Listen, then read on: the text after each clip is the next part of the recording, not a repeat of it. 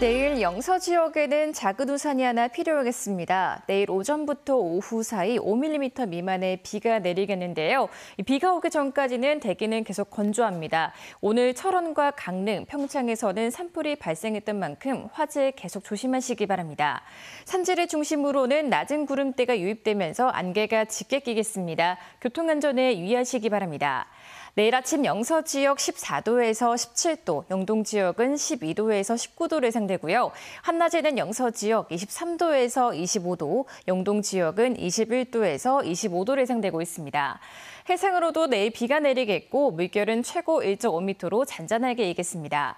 모레는 영동 지역에 비 소식이 들어 있습니다. 이 점 참고하시고요. 비가 내리면서 낮 기온은 예년 수준을 되찾겠습니다. 날씨였습니다.